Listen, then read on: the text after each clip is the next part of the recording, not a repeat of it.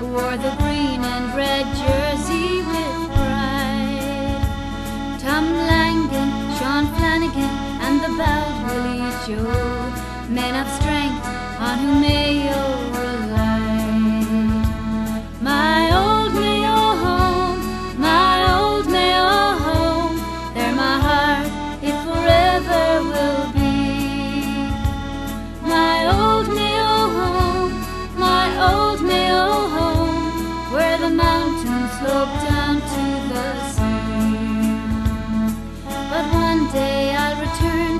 place I love